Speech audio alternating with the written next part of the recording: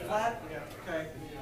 And uh, you're a friend of guitar players, right? Mm-hmm. you're making friends of it.